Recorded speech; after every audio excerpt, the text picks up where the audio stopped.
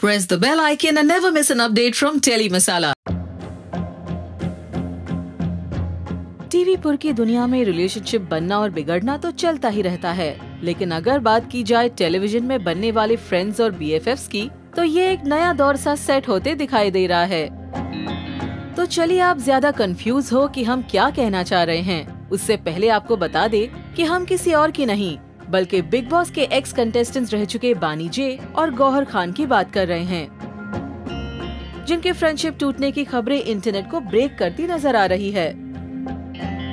तो जैसा कि आप जानते हैं कि जब बानी बिग बॉस के घर में थी तो गौहर उनकी बैकबोन बनकर सामने आई थी। फिर चाहे बानी पर लगे ढेर सारी कंट्रोवर्सीज हो, या फिर उन्हें बिग बॉस में बनाए रखने के लिए फ़ैन से अपील, हमेशा ही गौहर एक सच्चे दोस्त की तरह उनके साथ दिखी।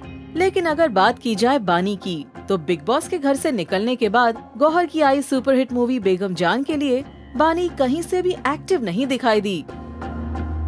और इतना ही नहीं, बानी ने अपने सोशल हैंडल पर से उनकी और गौहर की सारी पिक्चर्स डिलीट भी कर दी है। अब आप तो जानते ही हैं कि सोशल अकाउंट से पिक्चर्स डिलीट होना इन बातों की तरफ़ साफ़ इशारा कर रहे हैं कि definitely all is not well between Bani and Gauhar.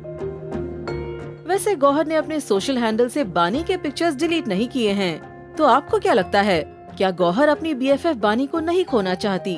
क्या उन्हें अपनी दोस्ती को एक और मौका देना चाहिए? और दोनों की इस नो मोर बीएफएफ वाली बात आपके लिए कितनी डिसहार्टनिंग रही? लाइक्स और कमेंट्स करके हमें ज़रूर बताइए। और सभी अपडेट्स को जानने के लिए देखते रहिए टेली मसाला